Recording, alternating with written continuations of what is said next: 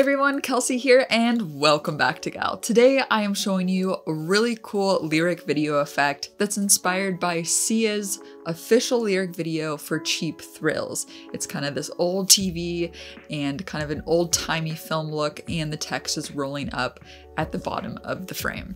So what I'm going to be showing you how to do in this video is how to create your own TV mask, how to create distortion on top of the real footage that you've shot in color most likely, and how to make it kind of look old timey. And then I'll show you how to animate the text in in a way that will allow you to duplicate it and make it really easy to extend the animation. So the footage and the music provided for this video is from Storyblocks, who sponsored today's video, and I will tell you more about why I think Storyblocks is awesome for video creators later on in this video. But for now, you can go ahead and see the time codes down below to jump around to different parts of the video to review. And let's go ahead and jump into the tutorial. So here in my timeline, I have the full color stock video clip from Storyblocks of these girls dancing.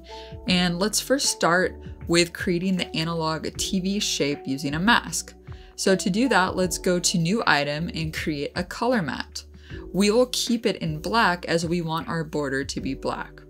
So now drag this color matte from the project panel into our timeline and stack it on top of our video footage. So this is going to be the layer that we're going to add a mask to. To create a mask, go to Effect Controls, and underneath Opacity, you will find a pen. This is the pen tool that you will use to draw a mask over the program window. But rather than just clicking and drawing the mask by hand, which can be more difficult to do, what we can do is take a screenshot from Sia's video, and then we can import that into our project panel, then drag the screenshot on top of our video layer here, and we can use this to trace our mask. So now go back to select our color matte layer because this is the layer we're going to be drawing a mask on. Then go to effect controls and let's use the pen tool to click to make our first point on the first upper corner on the left. Then we will click on the end of this first corner but click and hold to make it a curved edge along the TV line. And then just click along this outline and when you click and hold, you're always going to make a curved line. So once it's complete, we can always go back and make adjustments to the handles of these curved lines so it better lines up with the TV shape. And now we can just delete the Sia screenshot layer as just sort of our tracing layer. It's no longer useful. And we can go back to the matte layer and invert the mask. So now we can see the video inside of the mask. And you can also increase the feathering if you want to have more feathering on the inside of the mask. But I'm going to keep mine at 10. And for organization, let's go ahead and right click on this color matte layer in the timeline and let's rename it to TV mask. And now we can go on to adding color effects and distortion to the video clip to make it look more old timey. Let's go to the project panel and right click to create a new adjustment layer. Let's drag this adjustment layer on top of our TV mask and with the adjustment layer selected, let's start with color go to the Lumetri color panel, and here from creative, let's use one of the creative looks. I'm going to select the monochrome Kodak 5205 Fuji from the dropdown, and it creates a nice black and white image for us to work with. Next, because older footage is not as sharp as 4K, we want it to look a little bit more blurry, not completely sharp. So this is where we're going to add a blur. Go to Effects and search for Gaussian Blur. Let's drag it onto our adjustment layer. From Effect Controls, you can play around with the blurriness level until you get it just right. I'm going to get mine at 7, just so it's not too blurry. Now for organization, right click on this adjustment layer and let's call it black and white plus blur so that way we know what it is. Next, we want to add some noise to our video footage to give it a little bit more distortion. So this is where we can drag in another adjustment layer. You can drag the exact same adjustment layer and plop it into the timeline. Now we want the adjustment layer to be below the TV mask because we don't want the noise to affect the black matte, right? Just the video footage inside of the TV mask. And now select the noise effect, which is underneath the noise and grain folder, and drag and drop this effect on our noise adjustment layer. And then you can increase the amount of noise that you want. I'll have mine at around 30%. If you want to add some film distortion in addition to the noise, you can download a lot of really cool uh, film distortion overlays from Storyblocks. So you can just go there and search for it download it and drag and drop it on top of your footage, and you can play around with the blend modes until it perfectly blends in with your footage. Of course, this is completely optional, but it's nice if you really want to add some cool film damage and overlays on top of the footage to make it look more old.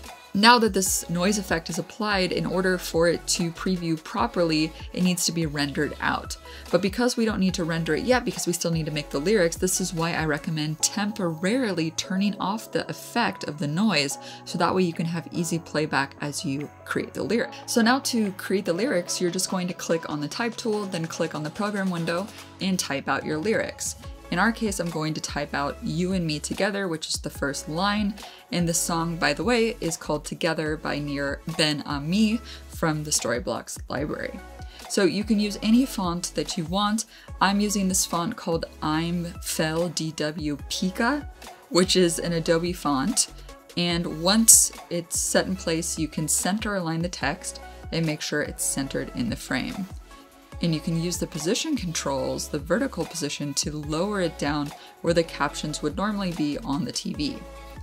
So I'm going to move this text layer below the TV mask and the noise layers in the timeline. So that way the effects are applied to the text also. Now we're going to add kind of a curvature to the text. So that way it looks like it's more naturally on a TV screen. So to do that, you're gonna go to effects and search for an effect called lens distortion drag and drop it to apply it on our text layer in the timeline. Now from effect controls, use the curvature slider to add more of a slight curve. In my case, I'm going to move it to around 50 or 60 between those numbers, so that way it's a perfect curve for this screen. Now this will also affect the text size, so you might need to go in and make adjustments to the text position and scale again. And once it's in place, now we can do the animation. So let's go ahead and turn on the stopwatch to create our first keyframe as part of our intro animation. Then pull the playhead back to the beginning of this text clip and then move the text off screen using the position controls. Now remember to make sure that the text layer is below the TV mask layer so that way it looks like it's going up off of the TV screen. Next, we want this text to animate up and then disappear. To do that, we need to create another mask using the pen tool just above the text as a rectangle. You'll notice that as I am making the mask that I'm also making a curved line above the text. So that way as it goes off screen, it will have that natural curvature.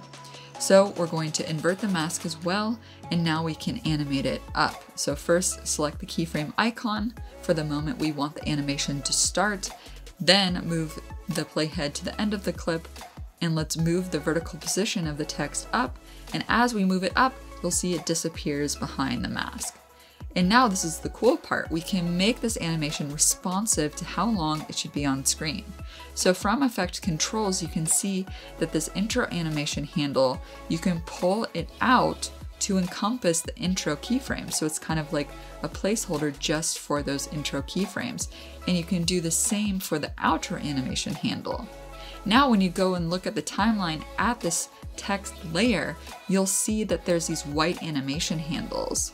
And as we extend out this graphics layer to make it longer or shorter, you can see that these handles remain the same. And Adobe likes to refer to this responsiveness as taffy time, like the candy taffy. You can stretch it out and pull it back in and the ends remain the same. So this is very useful because in this case, the lyrics, we're always going to change the duration right throughout.